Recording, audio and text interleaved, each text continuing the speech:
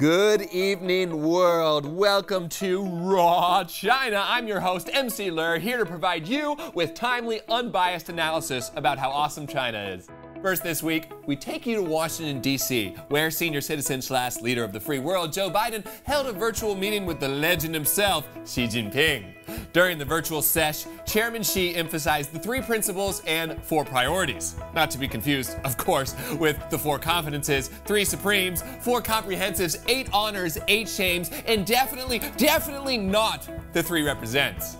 True to his snuggly nature, Chairman Xi sought to create a friendly atmosphere, referring to Biden as his 老朋友, i.e., a phrase that's warmth was sure to promote fruitful discussion between the two leaders. How would you describe their relationship going into this meeting?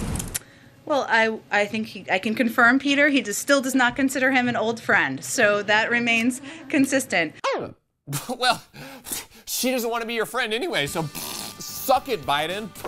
we don't need your friendship, freaking honky. Asians are sticking together on this one. Am I right, Japan? Uh, Korea? Vietnam? The, the Philippines. uh, India. India counts as Asia, right? I, okay, okay. don't worry about it, sheep. I'll be your Lao pung Yo forever. Next up is our segment, Who's Slandering the Party Now? Athletes around the world have jumped on the anti-China bandwagon, looking to save their pathetic careers with vicious attacks against the party and party officials. Enes Kanter using your likeness on his shoes in his uh, advocacy for human rights. Um, no, I think if you know me, I don't really give too many people my energy. Um, you know, and um, he's definitely not someone I will give my energy to. Um, you know, trying to use my name to create, you know, an opportunity for himself. Um, um, definitely won't uh, comment too much on that. I, for one, support LeBron James. No athlete should speak out about social justice issues that might hurt their bottom line. Recently, Chinese tennis player Peng Shuai made headlines when she alleged that she was sexually assaulted by former vice premier slash human salamander lookalike Zhang Gaoli.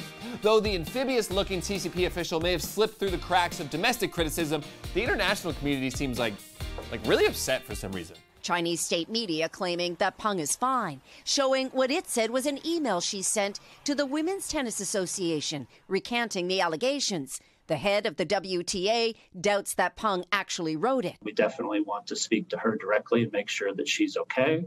What Serena Williams and the world, uh, women's world WTA seem to forget is that China is a civilized country, okay? Allegations of sexual assault against CCP officials will be promptly investigated by CCP officials.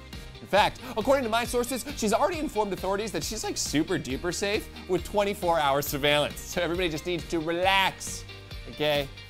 I mean, what's there not to believe? Oh, there's a green dash between the word and. It's evidence that this letter is actually a screenshot of a Word document written by Chinese state media and not Peng Shuai herself. But what foreigners don't realize is that leaving green dashes in between English words is a rich Chinese tradition.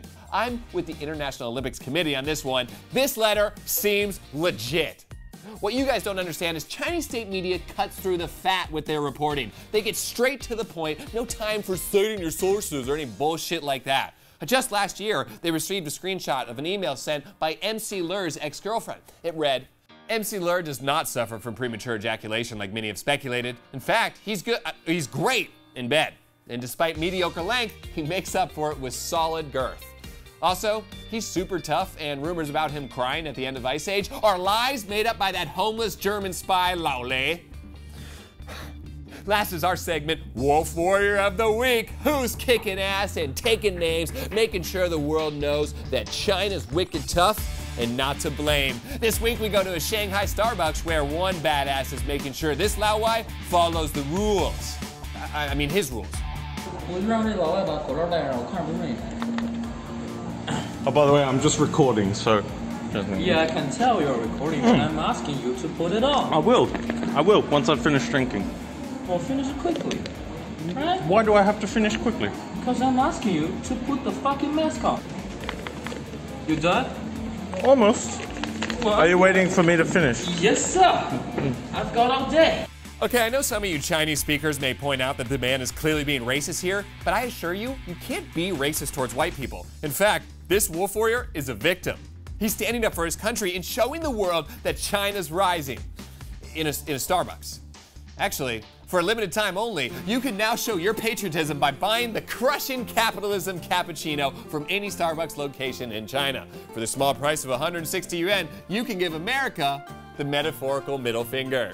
That's it for this episode of Raw China. Be sure to hit that subscribe button, like the video if you liked it, and praise me and the Communist Party in the comment section. Be sure to tune in next time if we do this next time. If you guys like it, we might do more. Right. I'm MC Lur. That's the word. Peace.